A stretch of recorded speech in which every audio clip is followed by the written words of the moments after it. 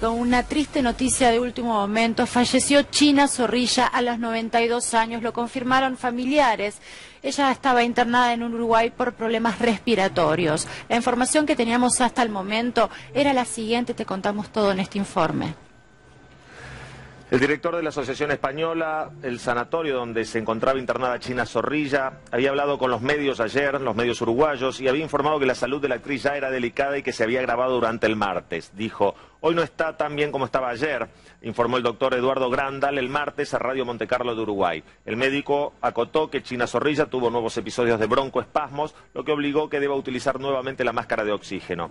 El futuro es un poco difícil de ver, dijo también Grandal, quien explicó que el hecho de que sufra EPOC y su avanzada edad no favorecían a su recuperación. Esto fue el último parte médico. Exacto. Mientras tanto, las redes sociales, fanáticos y personalidades de la farándula pedían cadenas de oraciones por la recuperación de la legendaria actriz.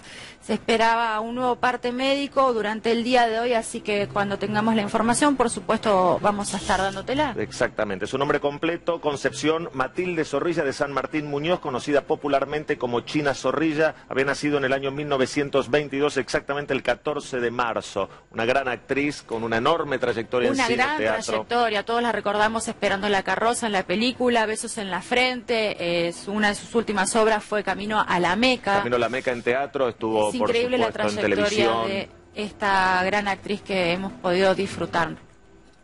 Continuamos nosotros aquí en M Show Noticias, vamos a cambiar Fuerte abrazo totalmente a toda la familia y a todos eh, sus amigos, por supuesto.